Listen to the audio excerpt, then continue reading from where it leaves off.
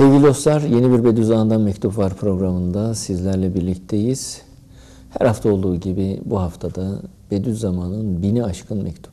Barla, Kastamonu, iki cilt olarak Emirdağ layıkası ve şoalarda yer alan bini aşkın mektubu içerisinden bir mektubu konuşacağız.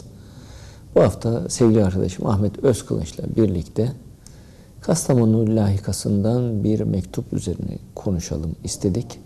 Söz basım yayın tertibine göre Kastamonu layıkasından 104 numaralı mektup.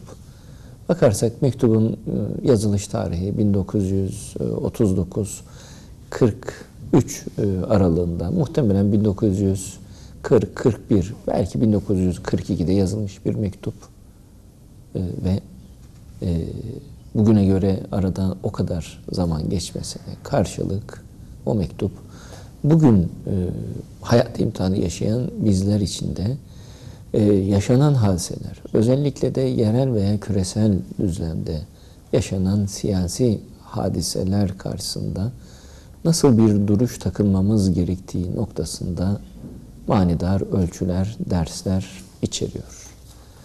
Uzun bir mektup. İkinci kısmını muhtemelen e, yetiştiremeyeceğiz.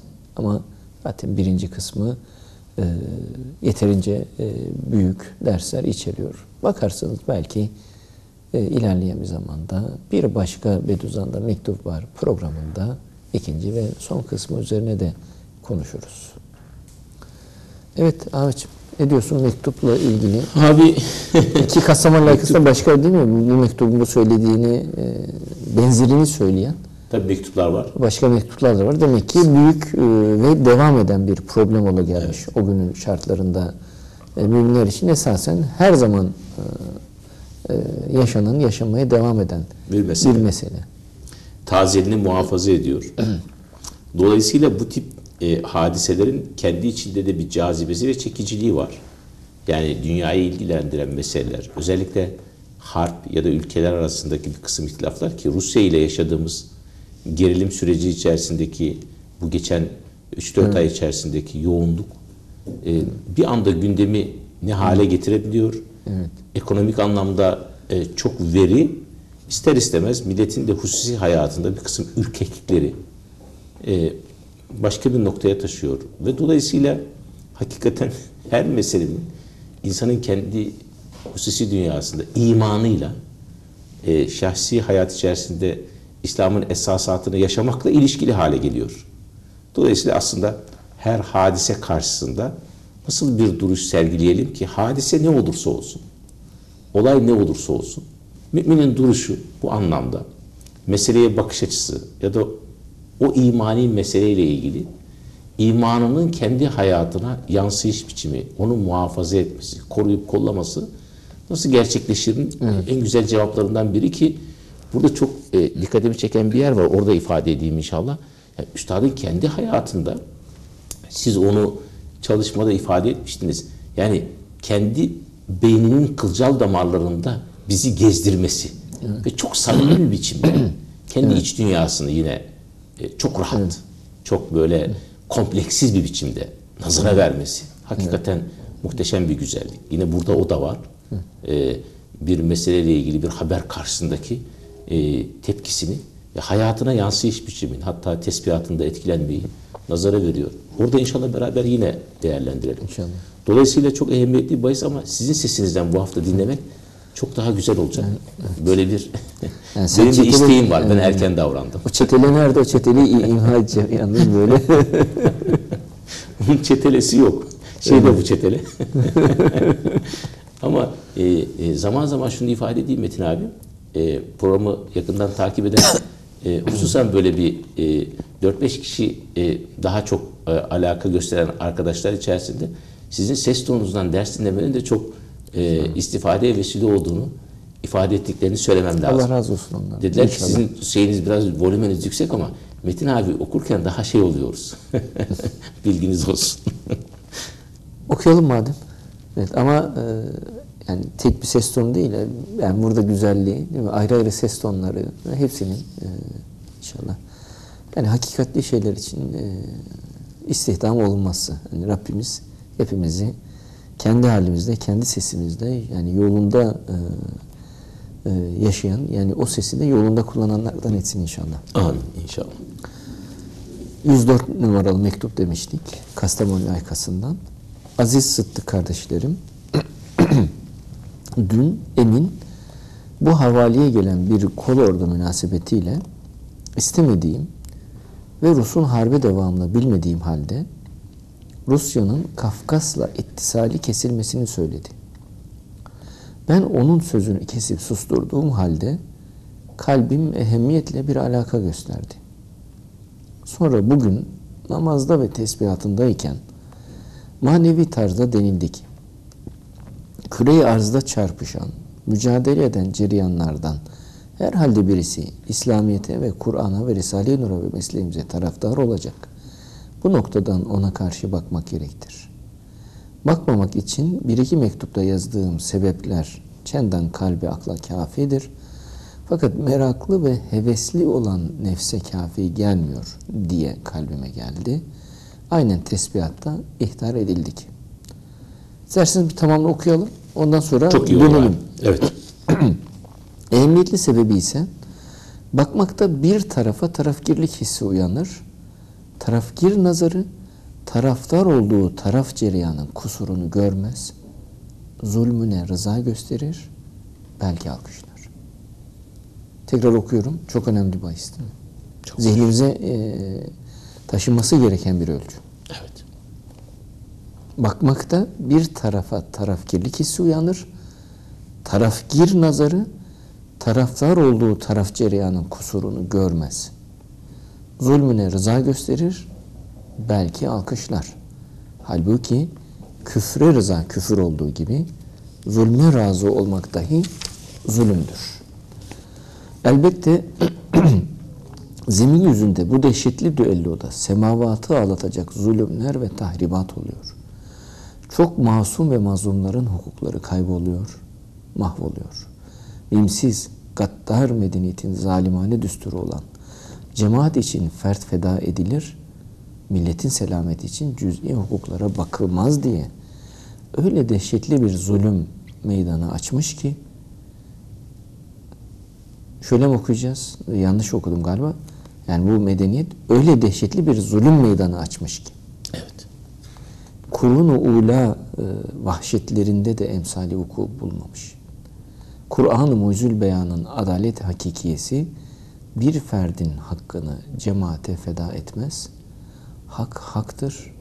Küçüğe büyüğe, aza çoğa bakılmaz diye kanunu semavi ve hakiki adalet noktasında Risale-i Nur şakirtleri gibi hakikati Kur'aniye ile meşgul adamlar zaruret olmadan lüzumsuz yalnız hevesli bir merak için netice itibariyle faydası bulunan ve netice daha gelmeden evvel lüzumsuz bakmak ve zalimane tahribatlarını alkışlamak suretiyle İslamiyet ve Kur'an lehine hizmet edeceği o cereyanın harekatını fikren takip etmekle meşgul olmak münasip olmadığı için nefis de akıl ve kalbe tabi olup merakını bırakmış diye anladım. Şimdi bahis böyle bitiyor. Şimdi önemli notlar var. En başta şunu anlıyoruz ki bugün e, en başta kendi nefsim adına söyleyeyim e, ve görebildiğim kadarıyla birçok başka e, ehli imanın da yaşadığı hal. Şimdi bakarken hadiselere burada anlattığı şu. Şimdi iki taraf var. İki tarafın meselesinin e, İslam'la ve Müslümanlarla e, hiç ilgisi yok. Değil. Böyle bir durum değil. Baksak bunlar ikisi de e, İslam dairesinin dışında birbirleriyle kapışıyorlar. Ama onların o, o hani kapışmasından e, İslam ve Müslümanlar lehine bir sonuç e, çıkma durumu var.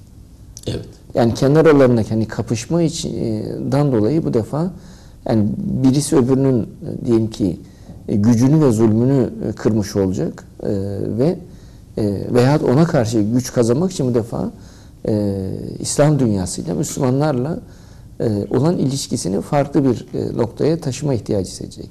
Yani öyle veya böyle neticede stratejik bir açıdan baktığında İslam dışı iki unsurun kavgası ama bu kavgadan Müslümanlar lehine bir tarafın e, galibiyetinden Müslümanlar lehine bir e, sonuç e, çıkması ihtimali var. Değil mi? Böyle bir Durumda karşı Durum. karşıya. İkinci Dünya Harbi'nin evet. çerçevesi bu. Dolayısıyla e, savaşan taraflar Müslüman olmadığı ve iki tarafta Müslümanca ölçülerle savaşmadığı, iki tarafta birbirine karşı e, zulmettiği veya birbiriyle savaşıyorum derken masum insanlara zulmettiği. Evet. Şimdi A devletiyle B devleti veya A ittifakıyla B ittifakı hatta dünya savaşı var neticede savaşıyor ve e, iki tarafta e, sadece ordular savaşı olarak bunu yürütmüyor. Şehirleri bombalıyor. Köyleri yakıp yıkıyor. Yani masum insanlar, mazlum insanlar, yaşlısı, çocuğu, hastası e, veya genci hani doğrudan savaşın tarafı ve taraftar olmayan insanlar bu savaştan büyük zararlar görüyorlar. Yani milyonlarla ifade ediyor. Milyonlarla hem de e, yani milyonlarla can. Hatta o Dünya Savaşı'nın zayiatına baktığımızda o milyonlarla can. 60 milyona yakın insan İkinci Dünya Harbi'nde. öldürülmüş durumda. İkinci Dünya Harbi'nde. Birinci de 20 milyona yakın galiba. Evet. O yani o üzerinde, e, evet. kağıt filminde bir e, e, e, sonuç şeyinde detay ve ayrıntı vermiş. 20. yüzyıl içinde meydana gelen harplerde 165 milyon insan toplam. Toplam, evet. E, 100 yıl boyunca meydana gelen harplerde ki bunun en büyük iyi ana iki başlığını Birinci Dünya ve İkinci Dünya Harbi ki Birinci Dünya, İkinci Dünya Harbi bu anlamda en yüksek şeydi. Evet işte 60 milyona yakın. 50, 50 milyonun üzerinde. Yanılmıyorsam 56 yani. Tabii rakamlar değişebiliyor da. şeylere milyonlar göre. masum Evet. insanın Evet. öldürüldüğü bir vasat ve zemin yaşanan hadiseler, olaylar. Böyle bir Şimdi- ortam. Şimdi bir Müslüman olarak ne yapacağız? Şimdi iki taraf savaşıyor e, ve iki taraf da zalimlik yapıyor savaşırken. İki taraf da savaşta has, Müslümanca bir e, dikkat ve hassasiyete sahip değil. Müslüman değil zaten. Müslümanca bir hassasiyete sahip değil. E, haksızlık yapıyor. Zulmediyor. Evet. Masumlara zarar veriyor. E, mazlumiyete yol açıyor. Ama bu olayın kere şey hak ve adalet ve merhamet açısından, şefkat açısından baktığımızda görünen tarafı olayın bu. Evet. Ama bir de şey e, stratejik açıdan meseleye baktığında orada da şöyle bir tablo var. Bu ikisinin e, çarpışmasından e, Müslümanlar lehine bir sonuç zuhur edebilir. Özellikle savaşan taraflardan birinin galibiyetinden Müslümanlar lehine bir sonuç zuhur edebilir. Şimdi nasıl bakılacak meseleye? Değil mi? Bediüzzaman burada bunu şey Evet. Evet. işte orada. Şimdi görmüş ki diyor benim nefsim dahi diyor buna dahil oldu. ya. Yani burada şey var hani şimdi akıl ve kalp diyor ki burada bir zulüm var. İki taraf da zalim. Dolayısıyla zulme meyletmemelisin. Kur'an'ın? Emri var açıkça. öyle ki hatta zulme ne bileyim yani yanaşmayın. Küçük bir Ufacık meyil. bir, küçük bir meyil Küçük bir mail tabi. Yani sen küçük bir- terkenu fetemessekum minnar. sen küçük bir meyil gösterirsin.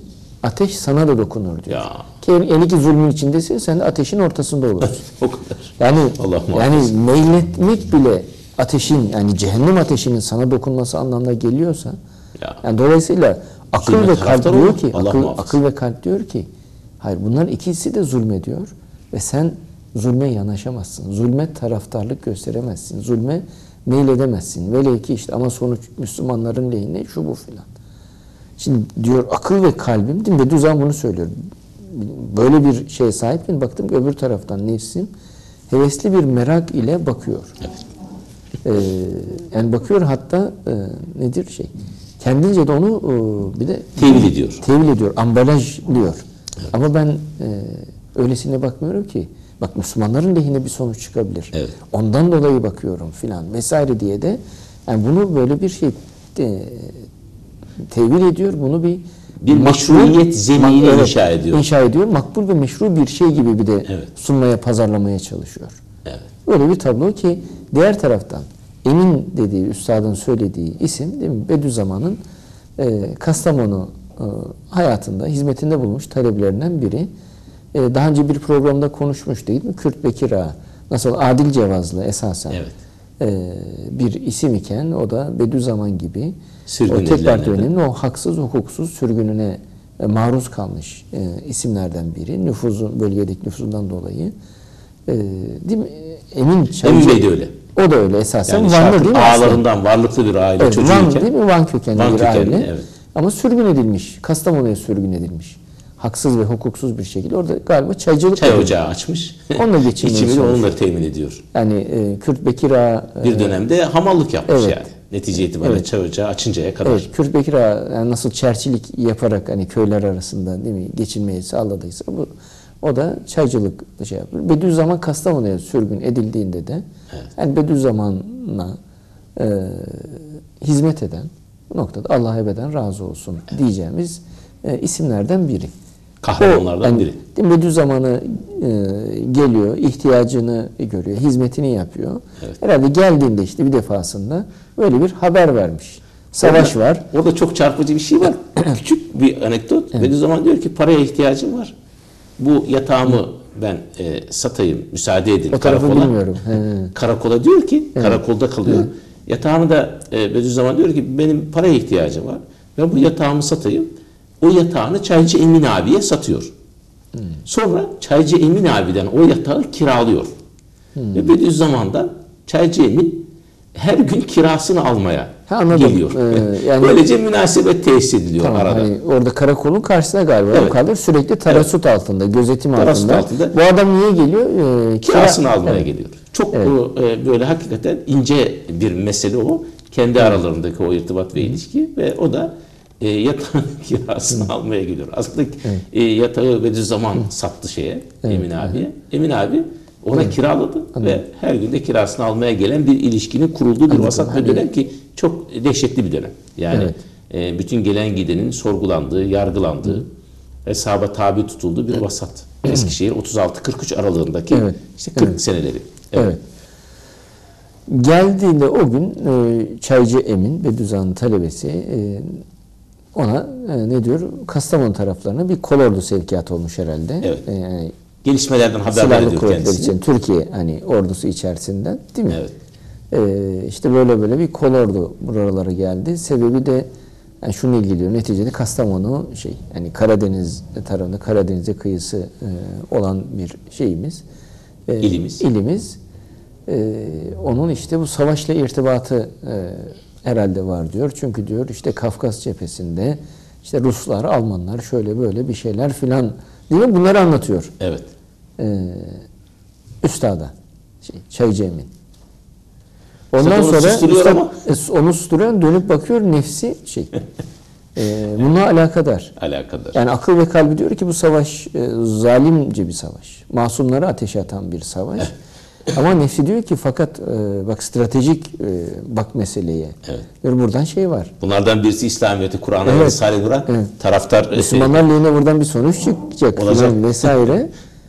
Dönüp de nefsine verdiği Bediüzzaman'ın e, bir cevap Evet. aslında hepimize. Yani, Çok güzel. Halen de. Evet. bir ölçü olarak ne kadar taze.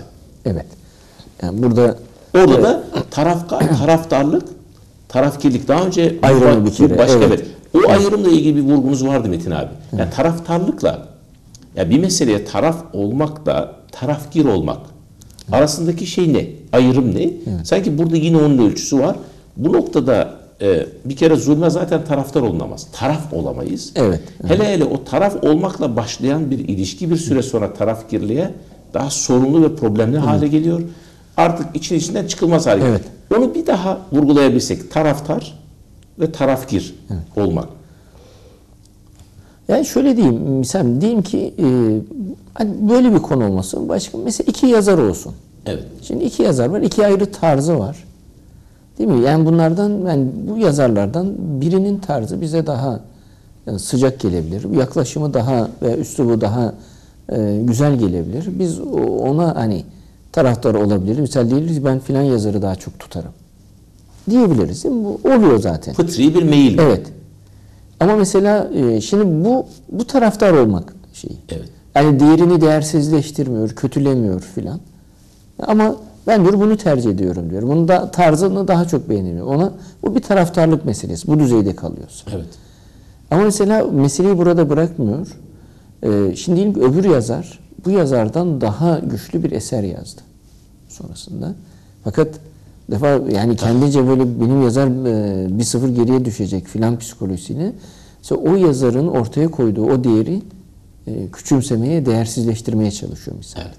İşte bu taraf girdi. Evet neydi? Bir kendi yazarının artılarıyla birlikte eksilerini görmüyor. İki öbür yazarın artılarını görmüyor. Yani misal. Evet. Ve e, yani bunun gibi mesela bunu bunu yapmaya başladığı andan itibaren ne oldu? Taraftarlığı aştı mesele. Tarafgirliğe dönüştü. Yani bilmiyorum hani böyle bir şey e, örnek olur mu? Evet. Dolayısıyla yani meselelerle ilişki önce taraftarlık masumiyeti altında Evet. giriyor bu konuyla Evet, ilgili. Bir ikinci Dünya Harbi'nde iki zalim devletin veya iki İşte zalim buradaki mesele taraftar olunmaması gerekmiş. Şimdi Az önce dediğim örnekte yani birine veya diğerine taraftar olmak hani sorunlu bir şey değil. değil. Yani burada ise iki taraf da zulmediyor. Evet. Hani sonuçtan Müslümanlar lehine e, bir e, durum zuhur edecek olsa dahi iki taraf da bu zalim. adı altında bir taraftarlık sinsi meyli başlıyor. İşte hani o nasıl giriyor? Fakat Müslümanlar lehine Ya, bir durum var. ya. Deyip e, iki zalimden birine taraftar olma. Evet. O taraftarlıktan bu defa zaten e, bir sonraki adımda tarafgirliğe geçecek. Geçecek ki Allah dolayısıyla onun e, hani zulmünü alkışlama. Misal sonra bir haber. İşte A tarafı Müslümanlar lehine hani galibiyetinden Müslümanlar lehine bir sonuç e, ortaya çıkacağı beklenen. beklenen, stratejik e, bakış açısıyla böyle algılanan e, A ta- tarafı e, B tarafının işte filan şehrini bombaladı ve kolunu kuvvetini e, kırdı. O ne oldu o bombalamada? Sadece orada diyelim ki cephaneliği e, bombalamadı diyelim. Şehri bombaladı.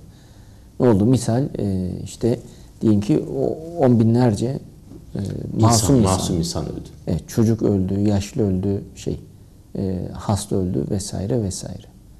Ama onu öldü ama fakat şey, sonuç Müslümanlar lehine olacak. Gü- Güya nefis ne yapıyor? Zulmü güya e, hak namına meseleye bakmak adı altında ambalajlayıp e, hani zulmü burada sıraladığı ma- e, manidar değil mi? Bir önce kusurunu görmüyor. Bunun bir kere e, kusur olarak, zulüm olarak görmüyor. Ya. Ya ş- ha- savaş şartlarında oluyor böyle şeyler filan. diye. Ölçülerde evet. evet. İki, dahası hatta zulmüne ne yapıyor? Rıza gösterir. Kusurunu görmez. Bir kere onu kusur olarak görmüyor. Ee, ve dolayısıyla da zulmü ne rıza, o zulme rıza gösterir hale getiriyor. Hatta dahası haber fakat bunun galibiyeti Müslümanlar lehine filan diye o zulmü alkışlar noktaya getiriyor. Allah muhafaza. Şimdi burada e, zaman açısından ne durumdayız bilmiyorum ama bir, bir noktaya daha vurgu yapmak arzum var evet, Metin abi. O konuda da bir evet, kanaatinizi almak istiyorum şu. Şimdi mesele burada İkinci Dünya Harbi'nde iki zalim devletle ilişkili. Fakat mesele netice itibariyle e, tırnak içinde bir siyasi mesele. Bugün itibariyle hayatlarımıza dokunan kısmı bunun siyaset ekseninde gerçekleşiyor.